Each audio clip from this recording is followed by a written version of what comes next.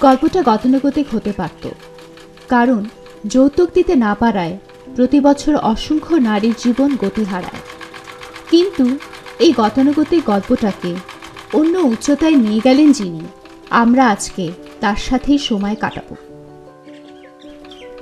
জোবেদা সেলাই মেশিনের চাকায় ভর করে সচল করেছেন তার থেমে যাওয়া ভাগ্যের চাকাকে। নিজের শারীরিক খর্বতা দিয়ে রচনা করেছেন বিশালতার জীবন কাব্য দেশের একটি জনপ্রিয় দৈনিকের মাধ্যমে জোবেদার কথা জানতে পেরে গোল্ডেন হারভেস্ট থেকে আমরা ছুটে যাই গাইবান্ধা জেলার সাঘাট উপজেলার মাছিপাড়া গ্রামে। এবার তার মুখেই শুনি তার ভাগ্যজয়ের গল্প। আমি প্রতিদিন স্কুলে যাইতাম। স্কুলে যাওয়ার পরে আমার মানে স্যার আমার সহযোগিতা করতো। মানে প্রতিবন্ধী নিয়ে তুমি স্কুলে পড়ালেখা করো।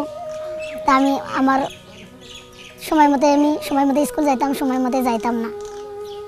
তারপরে আমার ছিল আশা অনেক। আর একটু পড়াশোনা করি। তারপরে আমার বাবা মা পড়াতে পারল না, খাতা কলম কিনে দিতে পারেনি। তারপরে স্যার দুই দিন, তিন দিন নিয়ে গেল, খাতা কলম দিছে। তারপরে পড়াশোনা বাদ। আমার হচ্ছে ছোট ভাই চারজন। এখন আমি কি করি? আমি সবার বড়, আমার বাবা শুধু একা। এর পরে বিবাহ হয়ে গেল। বিবাহ হওয়ার পরে মানে ওরা যৌতুক চাইছিল না, আগে। তারপরে মানে যৌতুক চাইছিল।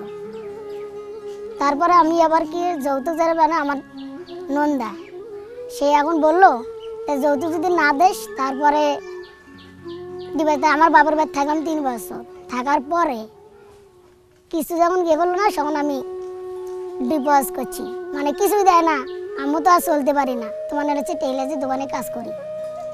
এখন মানে কোনো দিন দেয় মানে মজুরি হিসেবে যদি কাজ করতে পারি, তাহলে দিতে পারে আমার হচ্ছে পঞ্চাশ। আমি কাজের উপরে ব্যাসেস করে আর কি। তারপর ভাইয়ের দোকানে আমি কাজ শিখি। কাটিংগুলো শিখতে শিখতে কাজ করার পরে আমি ওখানে দিন এবার মনে করলাম, ভাই, একটা সহযোগিতা করল আমার একটা খুব ভালো হতো।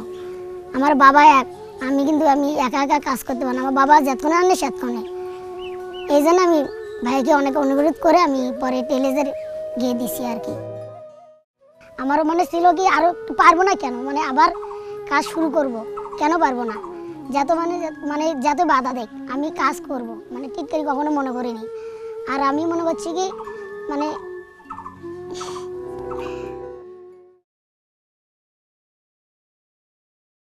আমার অনেক ইচ্ছা ভাই। আমি হচ্ছে মানে আমাদের মানে ইচ্ছা আমি নিজে পায়ে দাঁড়িয়ে আমি বাবা, মার ভাই, বোন কোনো আমারও জানে। সহযোগিতা না লাগে আমি নিজের পায়ে দাঁড়িয়ে আমি ব্যবসা বাণিজ্য করব। বা আমার মনে খালি মনে মনে চিন্তা করি, আজ করে গভীর রাতে চিন্তা করি। এবং নিজের হাতে দাঁড়াবো, নিজের পায়ে দাঁড়াবো। আমি কারোর সাহায্য নেব না বাবা, মার। জোবেদার এগিয়ে যাওয়ার পথে সাথী হতে পেরে গোল্ডেন হারভেস্ট গর্বিত। এই নারী দিবসে জোবেদা সহ সকল সাহসিকতার প্রতি আমাদের বিনম্র শ্রদ্ধা।